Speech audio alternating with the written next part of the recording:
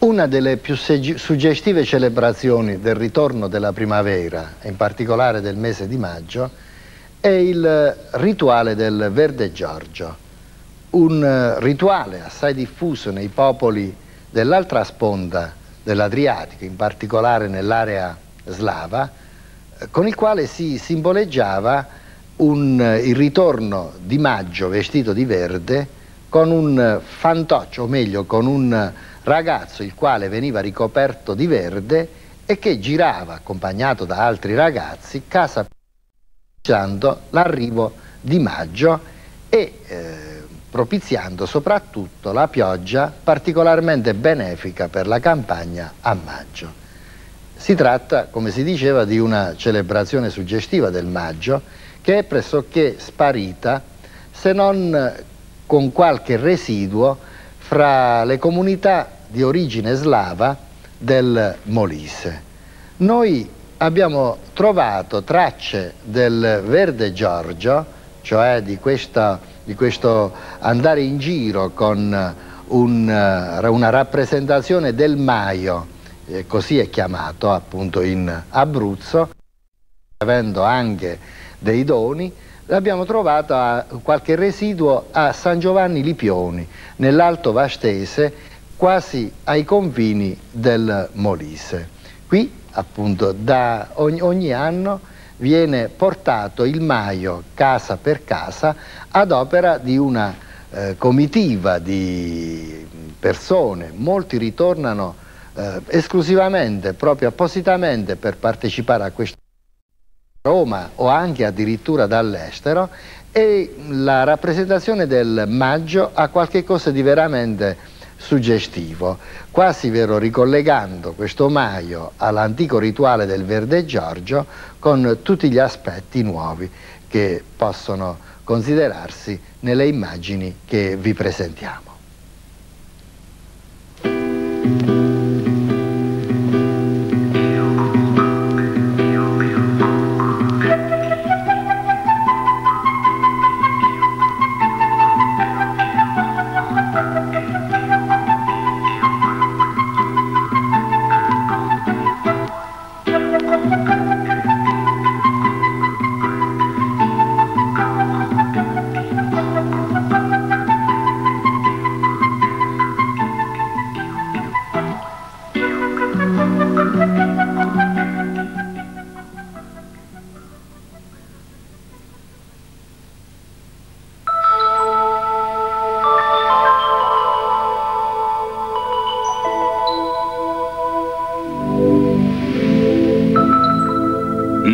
Folklore europeo, il ritorno del mese di maggio veniva celebrato con feste e rituali, canti e danze in cui si propiziava, nel rigoglio della stagione primaverile, la fertilità della terra e messi abbondanti.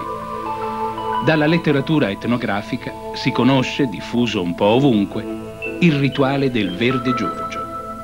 Un giovinetto veniva ricoperto di ramoscelli, fiori, foglie, e girava per le case, la vigilia del giorno di San Giorgio, il 22 aprile, con un seguito di ragazzi che cantavano annunziando l'arrivo di maggio e ricevendo doni in natura, uova, frutta, legumi, grano.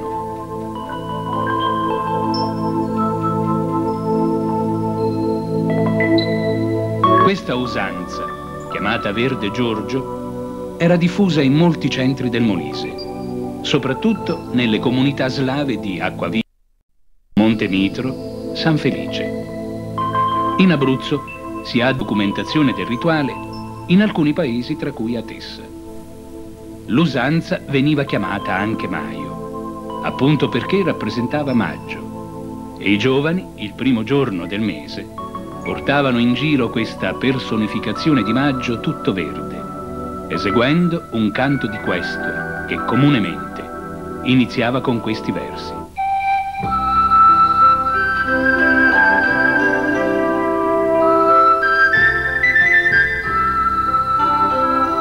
C'ha detto che maggio non è venuto. Esci fuori e lo trovi vestito. Maggio ha portato a voi belle giornate. Io vedo i rami degli alberi pieni di fiori. Io vedo i vostri prati pieni di erba, io vedo le vostre pecore piene di lana. Il Signore guardi la salute a voi e ai vostri figli, la salute anche dei vostri paesi.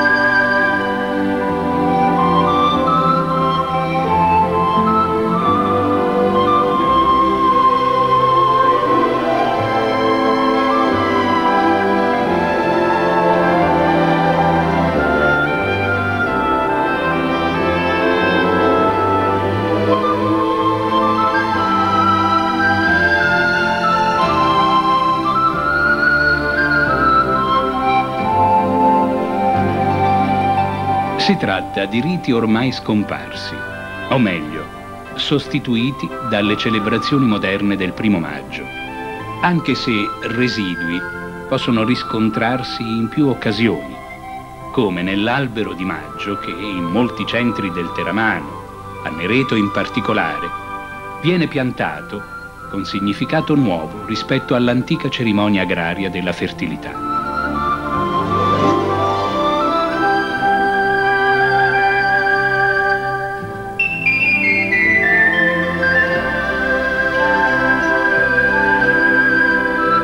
C'è però ancora un paese che il primo maggio si raccoglie tutto intorno alla sua arcaica celebrazione del Maio, al punto che in questo giorno tornano anche molti emigranti in una atmosfera di grande gioia collettiva. Il paese di cui parliamo è San Giovanni Lipioni, posto su uno sperone che si protende verso il Medio Trinio. San Giovanni Lipioni è uno degli ultimi comuni della provincia di Chieti, con la vicina Schiavi d'Abruzzo, e si trova proprio di fronte a quelle comunità slavofone del Molise in cui il rituale del Verde Giorgio fino a qualche decennio fa era assai diffuso.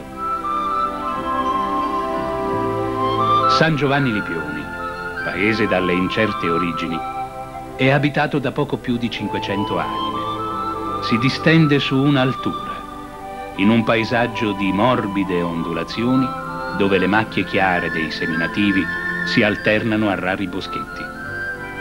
A San Giovanni Lipioni la festa del Maio sopravvive con tutto il suo carico di simboli e di significati antichi, come dichiara il sindaco, prima che la comitiva inizi il giro del paese per annunziare la bella stagione.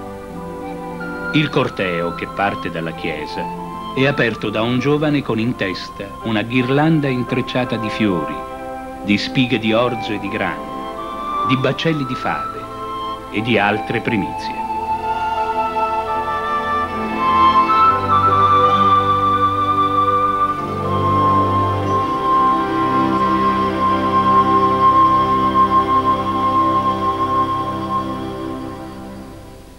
La manifestazione del Maio si inserisce nei festeggiamenti di Santa Liberata e San Giovanni, che, le cui statue il primo maggio vengono trasferite dalla chiesa principale di Santa Maria delle Grazie alla cappella di Santa Liberata, ubicata a circa un chilometro dal paese. E detta cappella è considerata la residenza estiva dei santi, infatti vi restano fino ad ottobre. La manifestazione del Maio può definirsi come una tradizione di origine mista di rito paganico e religioso il Mai è costituito da un'intelaiatura in legno, costituita da un bastone con un cerchio rivestiti di mazzetti di fiori, circa mille mazzette. Anticamente veniva realizzato per iniziativa di 3-4 persone appartenenti alle famiglie più modeste dell'abitato che il giorno antecedente al primo maggio raccoglievano i fiori in campagna, preparavano il maio e la mattina in processione il Maio con le statue dei santi veniva accompagnato in questa cappella di Santa Liberata. Qui veniva celebrata la messa, veniva benedetto e poi riportato diciamo, in paese. Questi fiori rappresentano un po' oh, diciamo, in generale il raccolto della terra e col simbolo del Maio intendevano chiedere ai santi la protezione sul raccolto. Quindi nel pomeriggio il Maio veniva portato in giro per le strade del paese e in ogni famiglia veniva offerto un mazzetto di fiori. La tradizione del Maio poi cessò col venir meno di queste persone, per l'avanzata età e per molti anni non è stato più preparato. Nel 1981, per iniziativa del Comitato Feste, fu ripristinato con l'aggiunta che nel girare per il paese oltre al Maio e diciamo gente c'è la banda che accompagna con delle marcette e viene recitato ugualmente qualche canto dai giovani quindi il primo anno riscosse molto consenso da parte della cittadinanza e ci fu una grande partecipazione, per cui è stato poi continuato ogni anno e adesso con la costituzione della Proloco da qualche anno fa è la Proloco che patrocina questa manifestazione. Ogni famiglia nel ricevere questi fiori, questo omaggio, ricambiava con offerte principalmente, oltre a offrire un rinfresco a chi portava il maio, offrivano delle uova e quindi il ricavato di queste uova costituiva il compenso per questi anziani, per questa gente che eh, realizzavano il maio, il compenso per il tempo dedicato a quella manifestazione. Adesso c'è stata una trasformazione, cioè le uova che vengono raccolte, quindi la tradizione dell'offerta è restata, le uova che vengono raccolte il giorno successivo o il sabato successivo al primo maggio viene realizzata una frittata in piazza pubblica dove partecipa tutta la gente. Quindi un'altra serata di festa lo, lo, spunto per ritrovarsi e quindi mangiare sta frittata realizzata con le uova offerte dai cittadini. Più offrono anche da bere, in ogni caso c'è quello che è veramente apprezzabile, quindi ha diciamo, stimolato a continuare la partecipazione della gente nell'offrire ognuno, gareggiare, ognuno offrire a questa gente che gira col Maio. La comitiva del Maio, preceduta dalla banda musicale, si ferma dinanzi alle case dove viene cantato qualche verso di un vecchio canto di maggio. Al saluto e all'augurio del buon raccolto si fa seguire la richiesta di doni, in genere uova, ma anche vino, dolci, prosciutto, salame, formaggio. Ad ogni padrona di casa viene consegnato un mazzetto di fiori staccato dalla ghirlanda.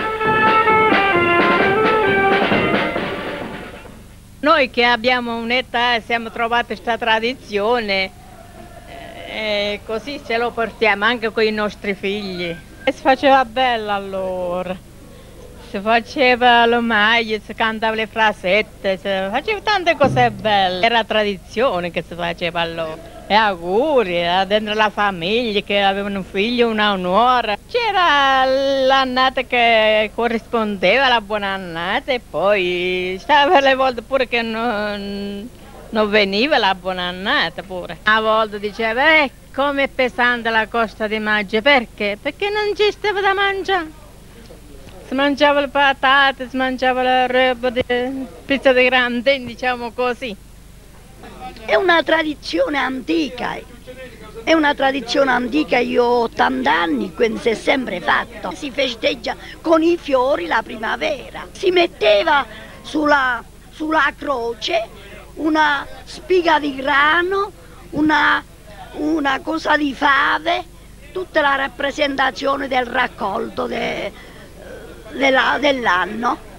Anticamente si è fatto sempre così. I vecchi antichi cantavano questa canzone. Dice, venga, venga maggio e viene di buon anno. In questa casa c'è andrà una nuora, santa liberata gli darà la benedizione.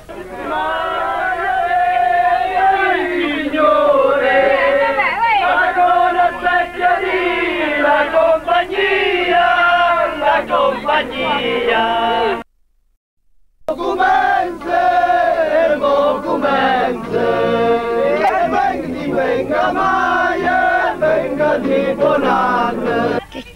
Primo passo.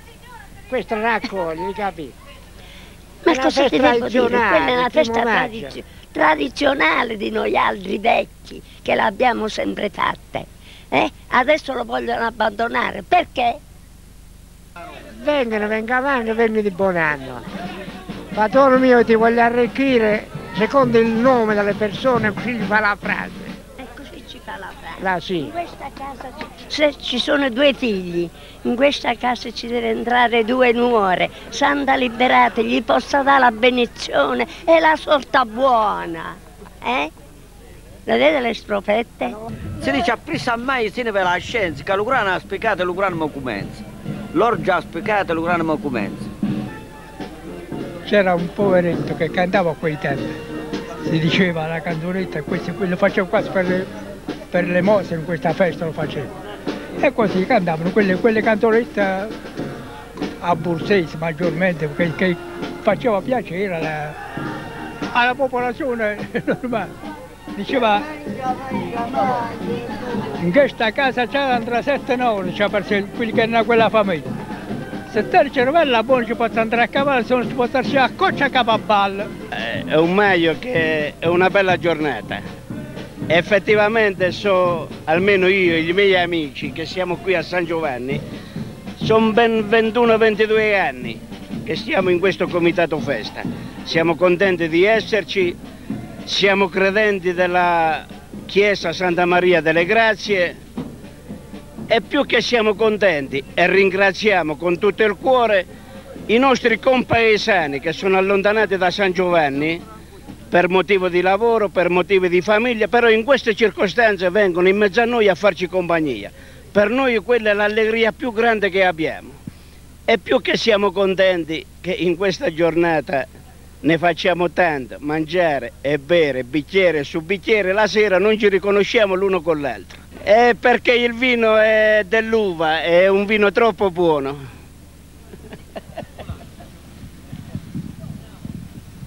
La tradizione è stata ricominciata, ripresa circa dieci anni fa. Gli anziani ricordano ben volentieri queste tradizioni, queste manifestazioni, però io a memoria d'uomo nella mia infanzia non ricordo una manifestazione di questo genere. Ho avuto l'occasione di, di, esserci a contatto nell'anno 81-82 e mi è piaciuto, è simpatico perché è un modo per, per stare in mezzo alla gente, per confrontarsi con la gente, è un modo per rivedere anche molti anziani che spesso non escono di casa e in queste occasioni si fanno a trovare ben volentieri davanti alla loro porta di casa, ci offrono i loro doni, ci offrono anche il loro ringraziamento per i, per i fiori che noi diamo. Franco Monaco è un emigrante che ogni anno rientra a San Giovanni Lipioni per partecipare al Maio, di cui è principale animatore. Sono stato il promotore per ripristinarlo questa festa e io ho ripartito dalla Guinea per venire a fare proprio questa festa del primo maggio. Perché me lo sente, è una festa che i nostri antenati lo facevano, una tradizione bella, io ho ripartito dalla, in Africa, dalla Guinea, per ritornare a fare il primo maggio a San Giovanni. Ritorno per portare il maio io personalmente e di far conoscere ai giovani che questa è una tradizione che bisogna portare avanti perché è bella, perché è una festa di partecipazione e niente, per me è tutto. Siamo venuti a Cantarmaggio. Era il ritornello che riecheggiava nelle contrade abruzzesi la mattina del primo maggio, quasi che attraverso i canti, le danze e l'allegria collettiva che ne seguiva volesse immettersi nei e nella speranza degli uomini la ricchezza dei beni futuri.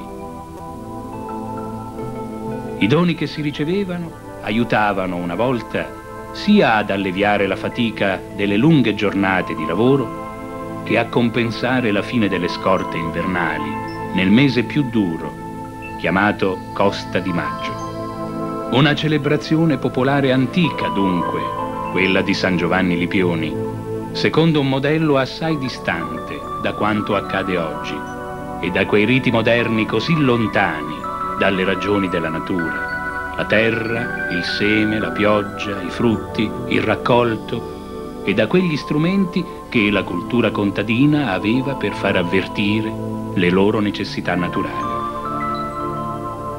Forse questo è il motivo per cui feste semplici, come quella del Maio di San Giovanni di Pioni, ci coinvolgono ed hanno la capacità di mettere in discussione il nostro modo di essere nella storia dei nostri giorni. Thank you.